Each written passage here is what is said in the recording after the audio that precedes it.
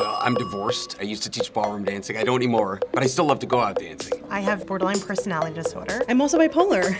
You like to dance? no. How long you been dancing? My whole life. It shows. Thank you. You don't think I'm too old for you? Nope. You're just my type. So we gonna close this tonight, or?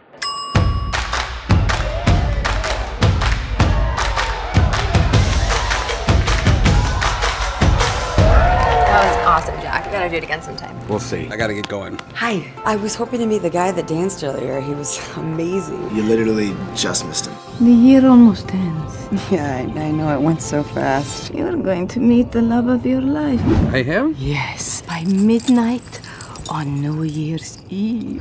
Is that so? Did you have fun last night?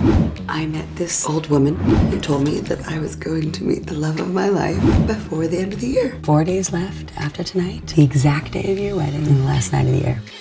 What do you think? Your soulmate just gonna walk by the office? Did some old lady say this? Yes.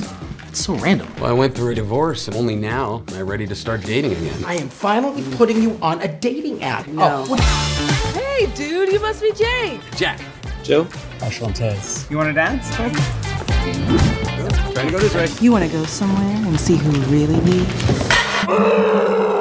I've been dying to see this movie. Some sex after this, right? I want to meet the love of my life. Wanna dance? And this week has assured me that that is never going to happen.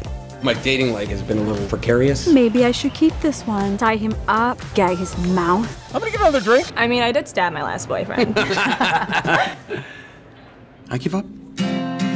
Maybe want somebody to dance with. No complications, no commitments. And you need to meet my friend Jill. She's going through the same thing. She'll be at the wedding. Yeah, she's the maid of honor.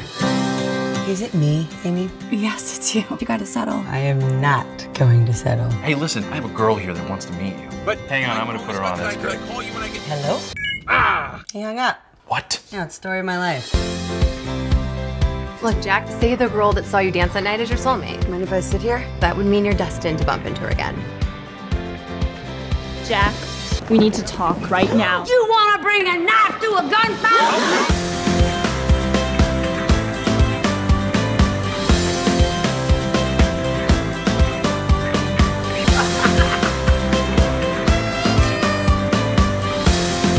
I'm gonna go up on the bar. I'm gonna run and jump into your arms. You sure that's a good idea? You didn't catch me.